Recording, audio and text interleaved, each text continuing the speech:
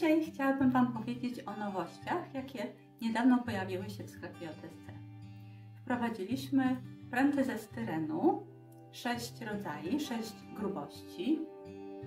O, tak one wyglądają. 6 grubości od 0,5 mm do 2 mm. Są to pręty, które sami używamy od lat i bardzo lubimy. Zastępujemy nimi bomy, które są z drucików, na przykład, albo krótkie maszty, albo y, budujemy elementy wind, pachołów. Przygotowałam sobie tutaj kilka modeli, żeby pokazać Wam w praktyce, jak wyglądają te pręty po zastosowaniu na modelu. Zaczniemy od Kaliforniana, jest pierwszy w kolejce.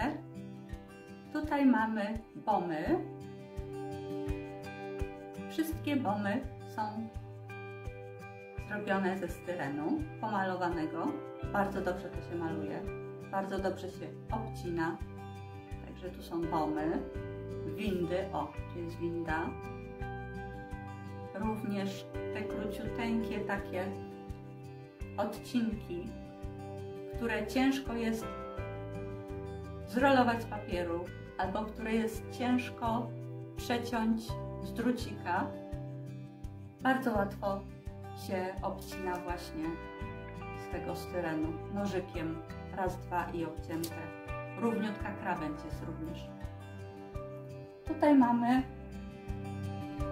Karpatię i również wszystkie bomy są zrobione ze styrenu. Oprócz tego wszystkie windy. O, od tej strony może zaczniemy. Tu jest winda. Tu są windy. Wszystkie te malutkie elementy są zrobione również ze styrenu. Ciekawostką jest również to, że te pręty ze styrenu można szlifować. Tutaj mam model Carlota, który nasz tester modelarski zbudował dla nas. I tu są również użyte te pręty ze styrenu, zeszlifowane.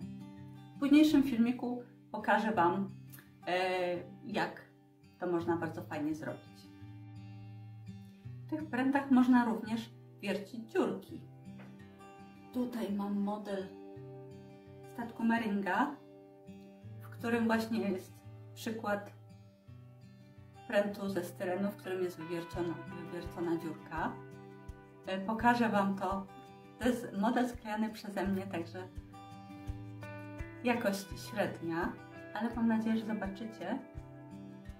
Tu jest pręt szerszy i w środku jest wpuszczony pręt węższy, właśnie w dziurkę, którą wywierciłam pionowo w dół.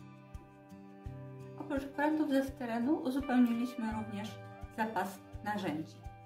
Mamy, wróciły do sklepu pensety, penseta prosta, penseta zakrzywiona, moja absolutnie ulubiona penseta. Uwielbiam.